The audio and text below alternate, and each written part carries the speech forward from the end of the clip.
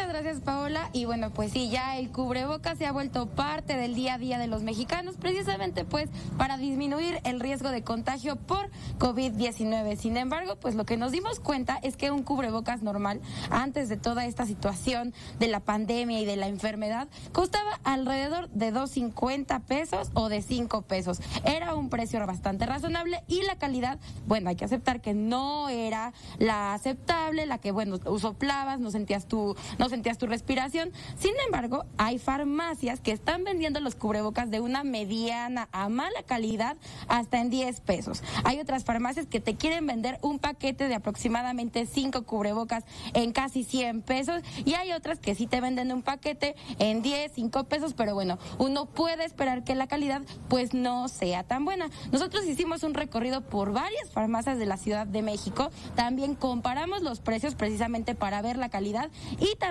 probamos cada uno de estos cubrebocas para ver cómo es que lo sentíamos. Algunos de ellos pues no pasaron la prueba de que no podíamos sentir la respiración y otros pues no sellaban de los lados, que es lo más importante precisamente para que si en algún momento estamos en contacto con alguien que tenga el virus del COVID-19, pues esto no nos contagie. Vamos a ver qué fue lo que vimos.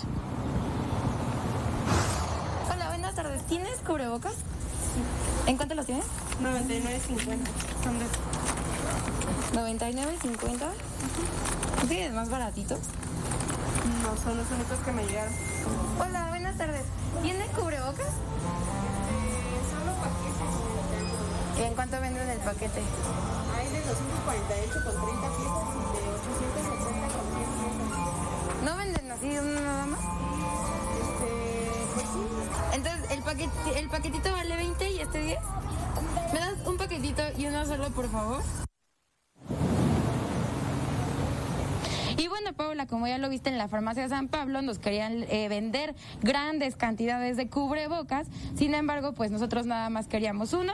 Esto fue lo que nos vendieron. La verdad, la calidad no es la óptima, no pasa la prueba de la respiración, tampoco sella los lados del rostro. Y bueno, pues esta es una situación en la que pues no sabemos cómo están pues poniendo los precios de los cubrebocas, porque por un cubrebocas están cobrando hasta 10 pesos y la verdad es que la calidad no es la óptima, Paolo, Paola.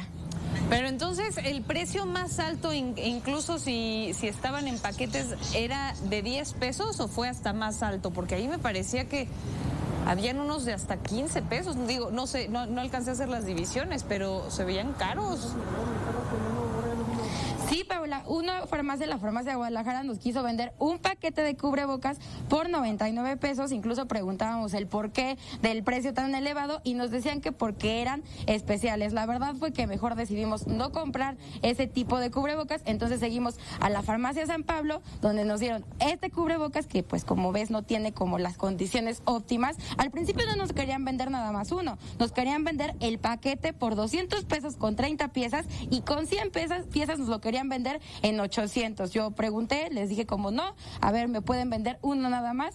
Dijeron que sí y me lo dieron en la entrada y pues yo tuve que sacarlo y este fue el que nos dieron, que la verdad como puedes ver está muy delgado, las ligas ni siquiera amarran bien como ya hace unos momentos me, ayudó mi compañero camarógrafo Guillermo Carrillo pues a hacer la prueba de estos cubrebocas, pero mira Paula, está muy delgadito y todo esto por 10 pesos, cuando en realidad cuestan entre 2.50 y 5 pesos, que es el precio en el que fluctuaban antes de esta pandemia y de esta enfermedad. Entonces lo que tenemos que buscar, Sandra, es que, bueno, no solamente que nos alcance, sino que además tengan esos pliegues como el que tú tienes puesto ahorita y obviamente un resorte que nos ayude en las partes laterales de la cara a que se pegue y después ya, si tenemos mucha suerte, que hasta tuviera uno de, las, de los alambritos que en la nariz también se pueden ajustar, pero bueno, eso ya sería con demasiada suerte. Por lo menos que estén plisados y que tengan los resortes a los lados y ya nosotros decidir, pero sí hay que buscarle entonces, ¿eh? porque el tema de los precios pues está muy diferente. Gracias, Sandra. Gracias Paula, nosotros seguimos al pendiente. Pendientes.